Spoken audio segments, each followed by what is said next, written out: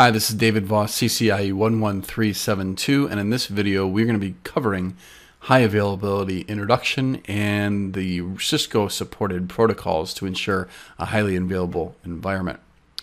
Now this term high availability is considered a very broad and general term.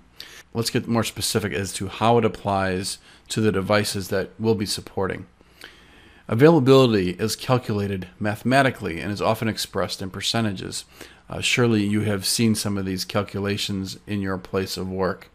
Percentages are often calculated from failure rates and repair times. So, different types of high availability include service level high availability, system level high availability, and network level high availability. Let's first understand what reliability and serviceability are because these help us understand the calculations that are used to understand if we have a highly available environment. Reliability measures the ability of, of a system or a solution to function without interruptions. And the most common measurement you've probably seen regarding this is mean time before failure. Serviceability refers to the time it takes to restore a system to service following a failure. A commonly used metric that you've probably seen for this is mean time to repair. Let's start talking about some of the specific protocols that Cisco supports on the devices to provide highly available environments. HSRP is a Cisco proprietary first hop redundancy protocol. Two versions of HSRP are supported on IOS software. Version 1, and this is the default HSRP version. And this restricts the number of configurable HSRP groups to 255. I don't expect you should be exceeding that anytime soon. And then there's version 2. Some updates to version 2. It uses a new multicast address, among many other things that you can see here.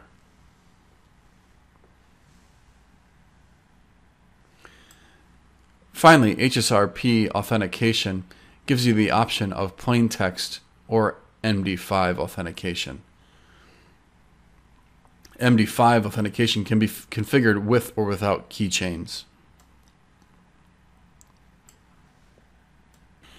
When implementing HSRP, two or more routers are configured with a standby IP address on a broadcast interface, usually an Ethernet segment. So while they will each have a local IP address, in this case .2 and .3, a passive election is held to determine the active router, which is actually answering for the gateway IP address .1. The active router answers ARP requests for the standby IP address with a virtual MAC address, so that the host sends packets to the gateway IP address, winds up sending it to the active router. Now, if the active router dies, then another election is held. And in this case, traffic would go out the .3 interface, even though traffic would still be pointing to the virtual .1 IP address. So let's configure HSRP in a lab. First, we're going to assign an IP address to the interface.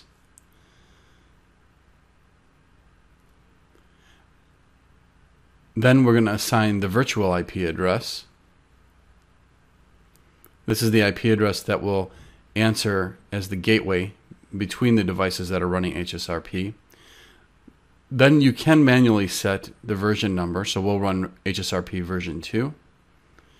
And then the timers. So the hello interval, this is how often a packet will be sent uh, to notify the other routers or devices participating in HSRP that this device is active. And then after 30 seconds, it would be declared down. And we can set priority if we'd like. And the higher the priority number, the more likely it will take over as the active router in HSRP if we set it to one, it's really going to be the gateway of last resort only after the other devices have failed. And then finally, you can set up authentication for HSRP to make sure that communications are secure between the devices while it's running. VRRP is an open standard first hop redundancy protocol which elects a virtual router master and then virtual router backups you can configure up to 255 virtual routers on an interface. That is, if your system is capable of handling it. The default VRRP priority value is 100, and that's important to note because the lower you set it, the less likely it's going to take over as the master. The higher you set it, the more likely it will be.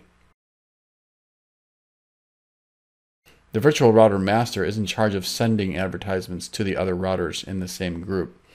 And VRRP, it should be noted, can support both plain text and MD5 authentication.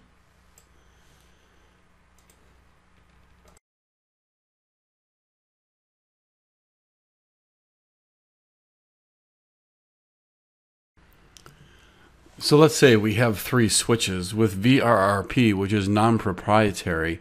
In VRRP, one router is elected as the virtual router master, and the other routers are acting as backups in case the virtual router master fails. So in this case, the master has been elected.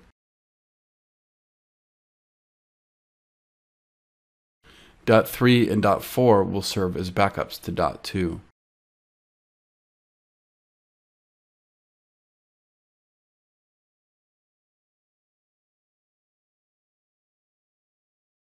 Dot 2 will answer to the virtual IP address, and if it were to fail, then a backup device would take over. In this example, that would be the dot 3 device. And if the dot 3 system failed, then the final backup system, dot 4, would take over. So let's configure VRRP in a lab. First, we'll set an IP address on the interface. And then next we'll set the virtual IP address.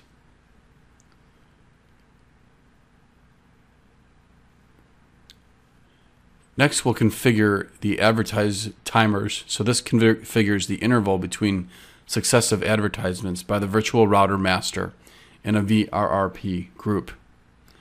The unit of interval is in seconds. The default interval is one second, and all routers in the VRR group must use the same timer values.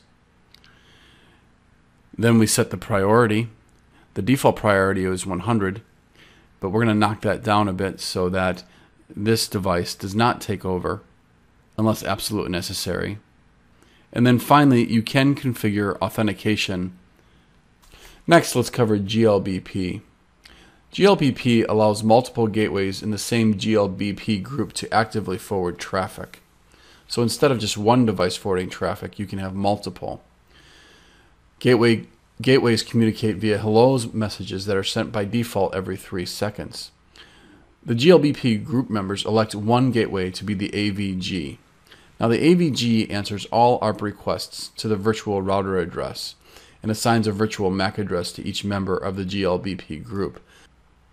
GLBP has many other features, but you should really focus on the fact that GLBP does provide load sharing and many different load sharing methods, host dependent, round robin, and weighted.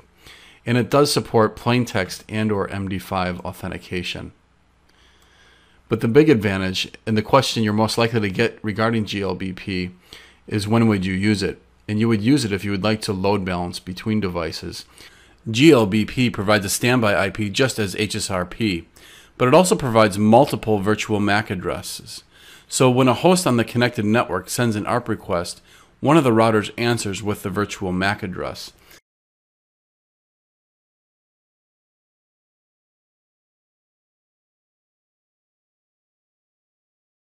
Now this does allow for load balancing.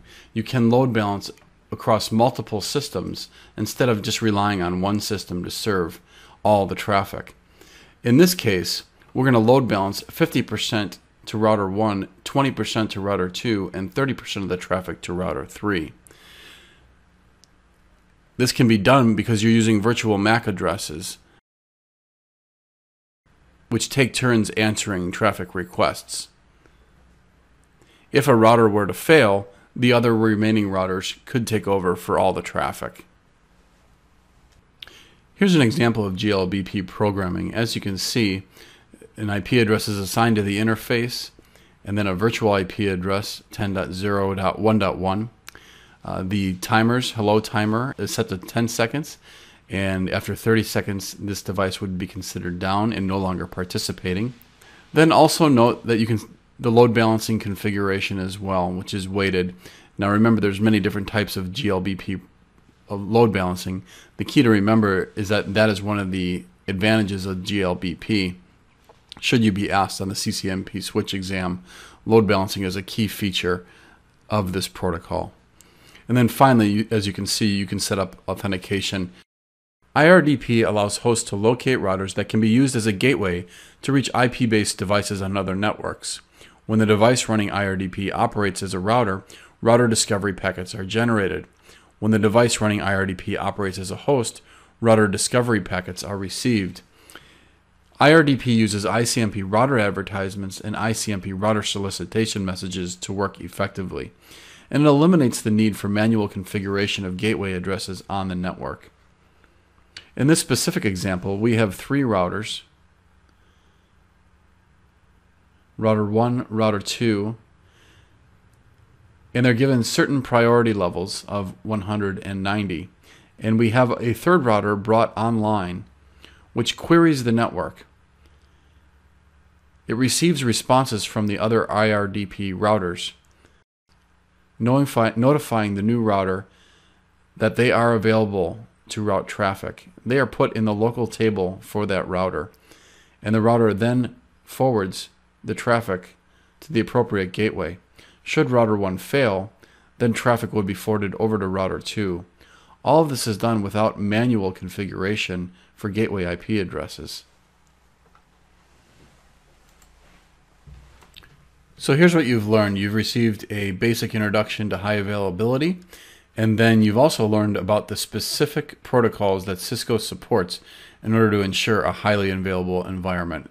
This is a solid foundation for you as you prepare to pass your CCNP switch exam. Good luck in your studies.